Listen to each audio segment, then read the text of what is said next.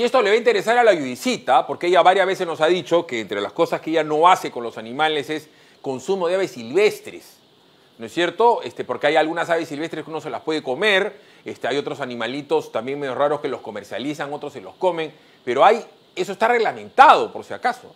Eso está reglamentado. Y hay gente que vende aves silvestres en la calle y se las traen de la selva y las tienen en unas condiciones pero atroces.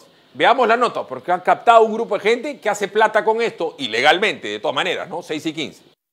La Policía Nacional de Medio Ambiente realiza un operativo y detienen a David Estela Briceño, de 38 años, por posesión de especímenes de fauna silvestre.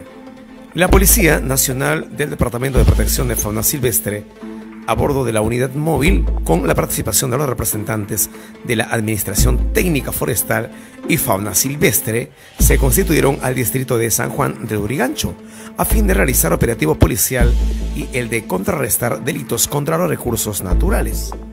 El personal PNP de esta subunidad ingresaron con la autorización de Richard David Estela Briceño a su domicilio ubicado en el pasaje Proyectos Especiales Manzana J Lotes 1 encontrando en el tercer piso de su domicilio la crianza de aves domésticas.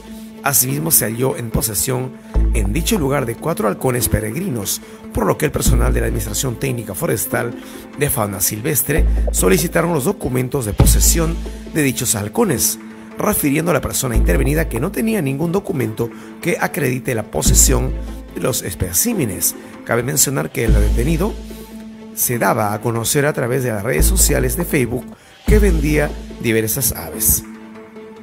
Por su parte se realizó la detención de esta persona coordinado con la Fiscalía Penal de turno de San Juan del Urigancho, con la única finalidad de realizar todas las diligencias de ley, así como los especímenes de fauna silvestre recuperados fueron entregados al personal técnico especializado de Lima para su custodia, protección y posteriormente insertarlo a su hábitat natural, culminado el presente operativo hay que señalar que se han adoptado las medidas a fin que estas personas reciban la sanción correspondiente.